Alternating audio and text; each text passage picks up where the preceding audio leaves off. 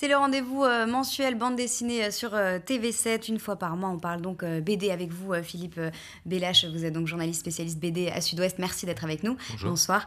alors aujourd'hui, Emmanuel Despujol, le dessinateur d'Aspic Détective de l'étrange, une BD sur un scénario de Thierry Gloris, paru aux éditions Soleil, une série qui mêle fantastique et humour dans la France du 19e siècle et sur notre plateau. Bonsoir à vous. Bonsoir. Alors, est-ce que vous pouvez déjà nous présenter cette série? Ben, c'est une série, comme vous l'avez dit, euh, qui frôle le fantastique, qui se passe fin 19e. C'est des enquêtes euh, qui dérapent toujours un petit peu euh, voilà, sur le fantastique. Donc il y a deux héros principaux, Flora et Hugo, qui sont des personnages un peu atypiques, parce que Flora est une femme qui se rebelle un petit peu contre sa condition féministe, enfin sa condition féminine de l'époque. Et Hugo, lui, est un homme qui a fait fortune, mais qui continue à à privilégier ses origines modestes. Donc ça fait un duo euh, plein de convictions et puis qui, voilà, ça pimente euh, les, les histoires euh, qui dérapent toujours un petit peu sur le fantastique. Donc c'est une bande dessinée qui avait été à l'origine créée par un autre dessinateur. Comment êtes-vous arrivé sur la série? Ben, En fait, j'ai été on, me l'a proposé, c'est Thierry Gloris que j'ai rencontré à l'occasion d'un festival, et puis qui, est venu me voir, il ne me connaissait pas, je ne le connaissais pas non plus, et en fait, il a vu mes dessins, il m'a dit, tiens, ça pourrait être intéressant, tu as un style euh, qui correspond à ce que je recherche, ce que ça te dirait. J'ai découvert la série à cette occasion, et puis j'ai fait des essais, ça leur a plu, euh, enfin, ça a plu à Thierry, ça a plu à Corinne Bertrand, la directrice de collection chez Soleil, et en fait, ça s'est passé comme ça. Euh, vous êtes déjà l'auteur euh, du Dixième Peuple. Euh, vous êtes attiré par les univers fantastiques ou c'était vraiment l'occasion de faire quelque chose de différent?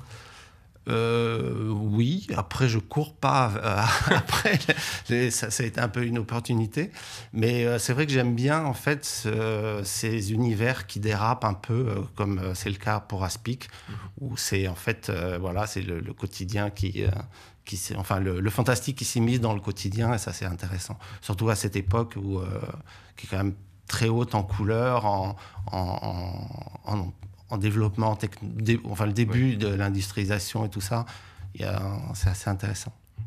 Euh, dans cet album qui est donc le, septième, mais qui est le début d'un nouveau diptyque, le, quand s'appelle les personnages arrivent euh, pour, pour en fait euh, secourir la tante de, de, Flora et qui a, qui a des soucis avec euh, des, des créatures qui vivent dans sa maison et, donc il y avait une momie un petit peu dérangée. Je veux dire, c'est des thèmes humoristiques que vous avez l'habitude d'habiter parce qu'on on sent une personne en plus qui a l'habitude du fantastique et qui en fait vient chercher du secours uniquement parce que ça, ça la dérange un peu plus que d'habitude quoi.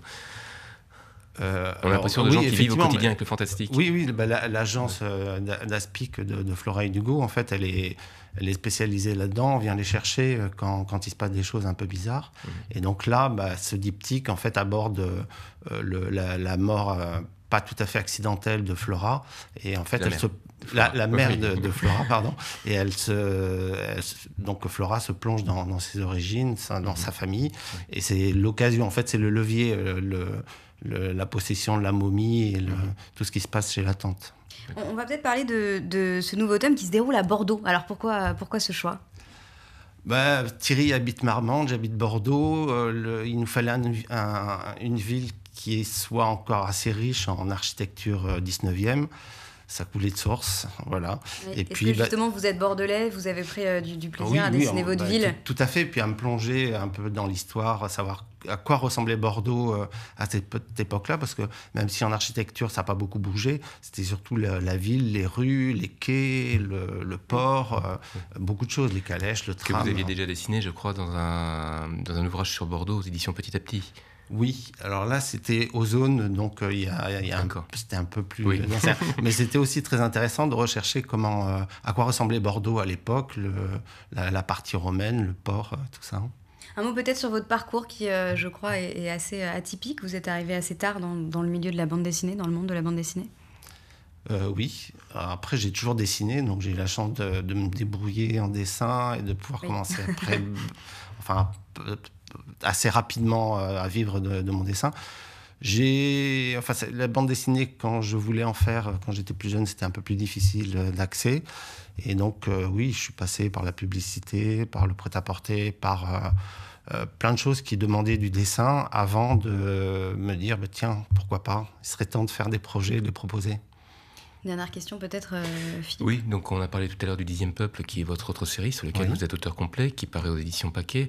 Euh, chaque album euh, est proposé avec une solution de, financement participatif, une souscription en définitive. Uniquement pour les albums toilés, en fait, qui est un ouvrage agrémenté où j'explique un peu le, la, la façon d'écrire l'histoire. D'accord. Et donc là, il y a une intégrale qui est en préparation.